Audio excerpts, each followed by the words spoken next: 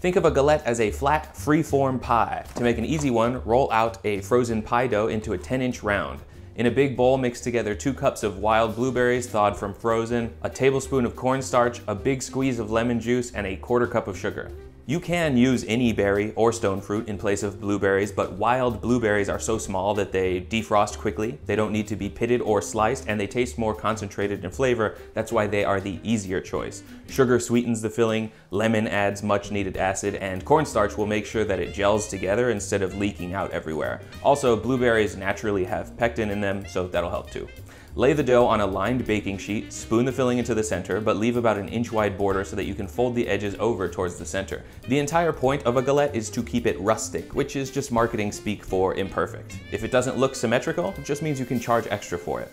Brush the crust with some cream or milk or a beaten egg just to make a sticky surface, and sprinkle sugar on the crust. Bake it on the lower rack of your oven at 400 degrees Fahrenheit until the crust is like darkened gold, about 45 minutes. You already know the tastier version is going to involve homemade pie dough, and honestly, if you have a favorite pie dough recipe, just use that one. I am an amateur baker at best, so I default to the Serious Eats technique of pulsing butter into flour, drizzling in some very cold water until it comes together, and fridging that for an hour wrapped in plastic. Their recipe is linked in the description.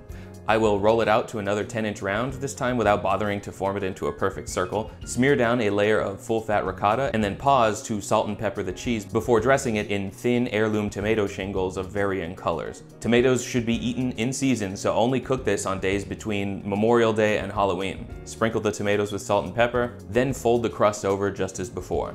Brush the crust with egg wash and bake until gold. Between the thick crust and the ragged edge, this thing is looking rustic with a capital R. Pour some rivulets of freshly made pesto and a shower of parm as soon as it comes out of the oven.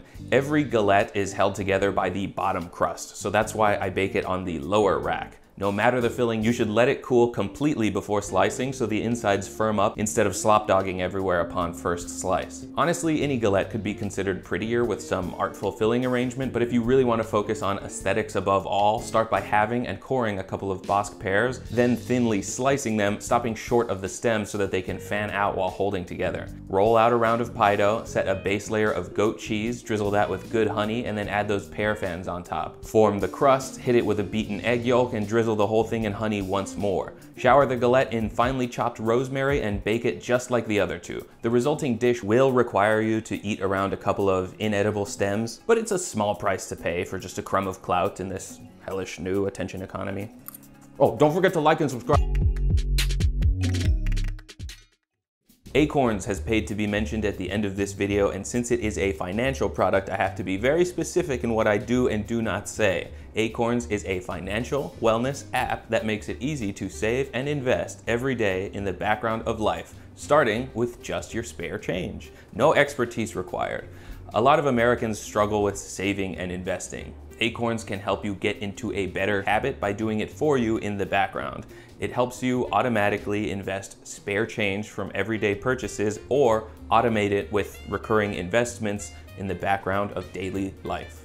You can sign up for Acorns in three minutes with as little as $5 and the app will automatically invest spare change left over from your purchases so all that spare change gets put to use while you do essentially nothing. They continue to add features beyond that spare change investment, like a debit card with thousands of fee-free ATMs. Download Acorns and start investing with your spare change. You can get a $10 bonus investment if you use my link to set up an account. Terms and conditions apply.